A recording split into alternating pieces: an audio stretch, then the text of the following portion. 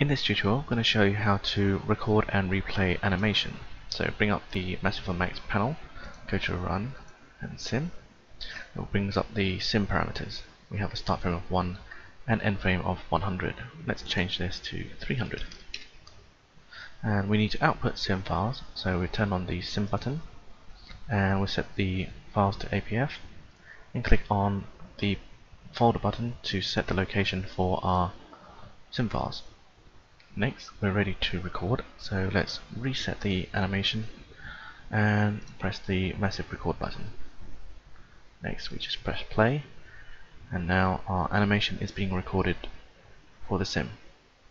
So I'll just pause the video right there. Now the sim has been recorded. We can now load the APF files back in to replay. So let's click on the massive scrub button and our files being read. Should only take a moment. That's all done. So now we're ready to scrub through the timeline. And that's our sim being replayed back. So now it's ready for the next tutorial.